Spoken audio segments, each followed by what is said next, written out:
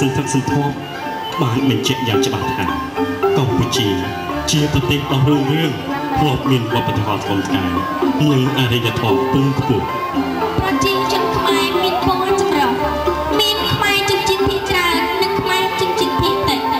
ដូចជាខ្មែរម៉ែចិនខ្មែរអ៊ីស្លាមម៉ែសុរិនខ្មែរកូឡាម៉ែពោខ្មែរលើម៉ែក្រោមលាក់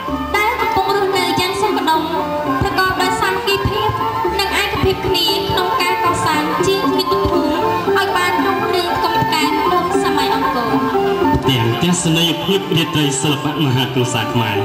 គឺជាទាំងទស្សនីយភាពមួយ ដែលបង្ហាញពីការរស់នៅដោយសុខសប្បាយនិងសន្តិភាព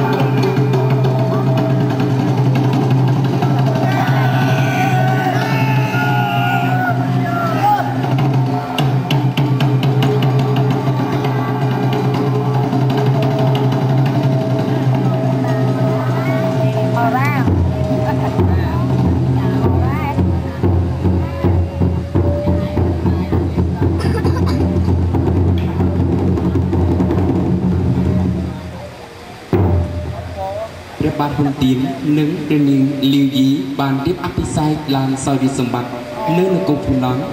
ជាព្រះមហាក្សត្រខ្មែរទី1គ្រប់គ្រងនិងកសាងនគរខ្មែរទៅជានគរភ្នំ